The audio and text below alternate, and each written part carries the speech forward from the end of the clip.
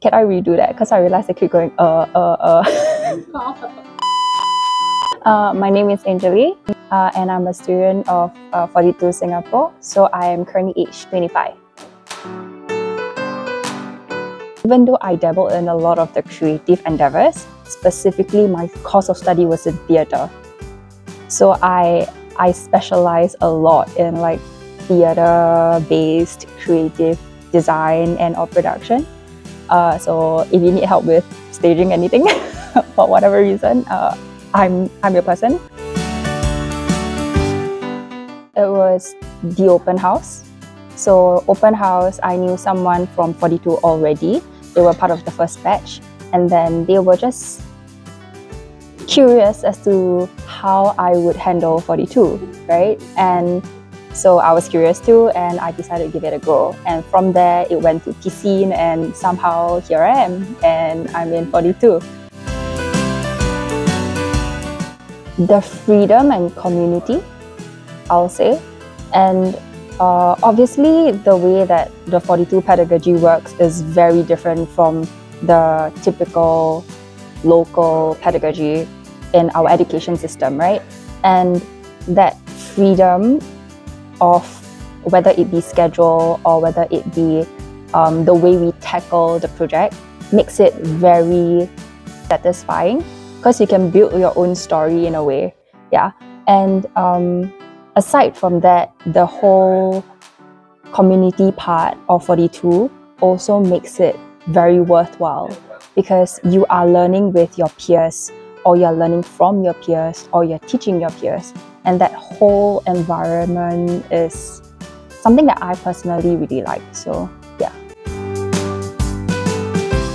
Opportunity, because I never really thought of making that switch in the first place, right?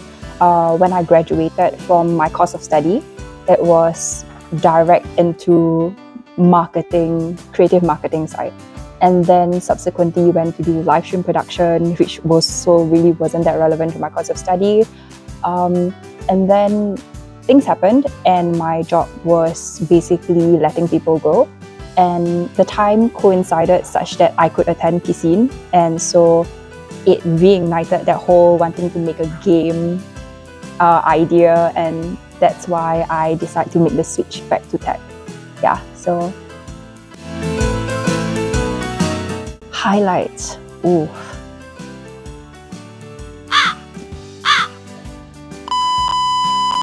I would say the the one highlight I remember very vividly is the very last day when the pisciners could finally access the pool table. Huh? And um, I mean, obviously we weren't working towards that, right? But when it it felt like our form of graduation ceremony from Piscine, because everybody knew not to touch the pool table, and after Piscine, we were finally given the chance to, and it felt like oh, we've actually finished Piscine, and um, I mean it was fun. Uh, the whole Piscine and getting to touch the pool table, so. yes, that that would be one of the more memorable instances, I feel.